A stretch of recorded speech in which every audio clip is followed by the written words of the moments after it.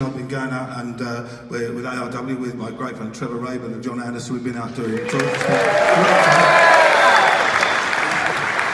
And, and, anybody who's seen any of the shows will know we finish off the, the show, we play Owner of a Horse and Cart, and Trevor and I go out into the audience and uh, we go out, and Trevor has his guitar, I have my handheld keyboard, and we go out and we have a bit of fun out in the audience. It is, it's great fun. And the, the second to last night on the last tour, uh, we're out there, it was really busy, we're getting jostled a lot of those, and, uh, and Trevor accidentally, and it was actually, he, he, he, whacked me in the mouth with his guitar, which, uh, which hurt. And uh, I think I said something like, gosh bless I saw that was jolly painful, Trev. That really hurt. And I felt my mouth filling up with blood, and I thought, I'm in real trouble here. And uh, we got to the dressing room afterwards, and yeah, sure enough, blood everywhere. And these two front teeth, they're capped. They're, they're like bridged. And this one here was like a cat flap going backwards and. And I thought, well, I'll wait till I get home and try and sort it out. So two days later, I'm back in England. I went to see my dentist. There's a lovely Nigerian lady called Uchenna. I told her word out. She said, well, let's have a look. So I opened my mouth up. She went, oh, yeah. That's what, and she pulled it out. She went, oh, dear. And I said, what, what, what's the thing, oh, dear? And she said, well, all the, tooth, the old tooth that was attached to her at the back, she said, that's all broken. She said, I've got nothing to attach it to now.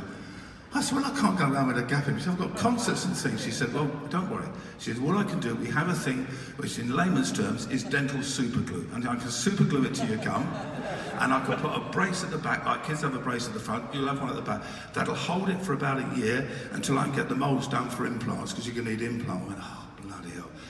I said, okay. And she said, that's not your main problem. I said, what's my main problem? She said, can you feel the sharp bit on the left? I said, yeah, right, broken tooth. She said, he's well, well, wallop that as well. That's broken. You've got a broken tooth there, and that's got to come out.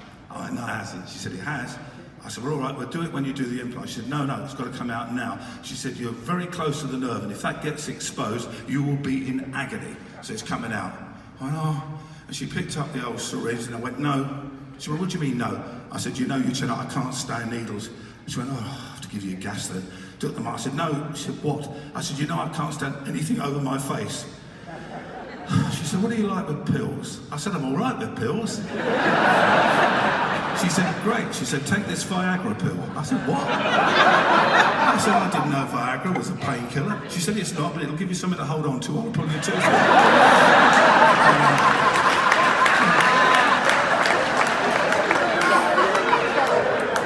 uh, You're trying to work out how much of that's true, aren't you? Yeah. Anyway, uh, I did an album last year uh, called um, called uh, Piano Odyssey, and I took tunes and melodies from people that I absolutely love.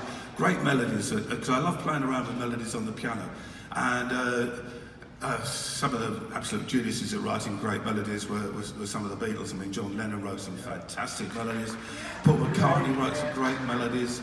George Harrison, tremendous melodies. And, and, and Ringo wrote Octopus's Garden. Uh,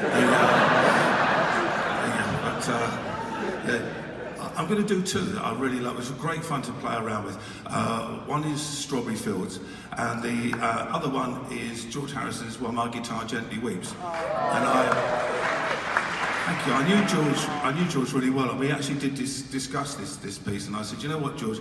It's such a beautiful melody.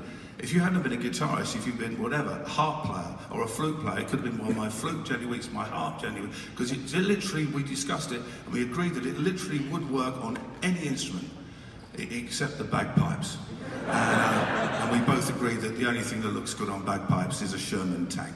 I, I do hope you have a nice night. Thank you.